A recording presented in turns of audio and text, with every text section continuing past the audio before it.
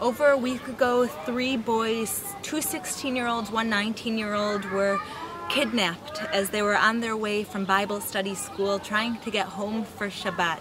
The Israeli government is doing everything it can to try to find the boys and bring them home safely. I came here today to visit the Frenkel family. One of the boys, Naftali, is a dual citizen. He's both American and Israeli. A block away from their house are signs lining the street, V'shavu banim legvulam. And the boys, the children will return to their homes, will return to this land. And that's our prayer. Behind me, what you'll see is a yeshiva that was set up. A bunch of boys that are learning Torah in the honor that the kidnapped boys should come home. So I just arrived at their home. I'm giving them this booklet from the fellowship, a booklet of your prayers, where we're telling them that there are Christians around the world that stand with them, that love them, that are praying for their sons, and are standing in unity with their suffering and the Jewish people.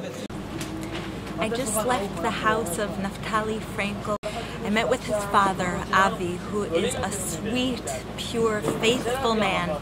All he's asking for is that we pray for his son's release, that we continue to pray, we continue to act politically in whatever way we can through good deeds to help bring his son home. We can't forget these three boys.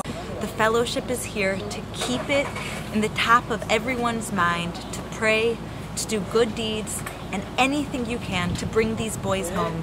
And there's no words to explain the appreciation that the Frenkel family and all of the families have for everything the fellowship and everyone else is doing on behalf of their sons. This is real. It's a real family that could be anybody here in Israel. Just a few minutes away from my home the community they're American, they're English speakers, it could be any one of us.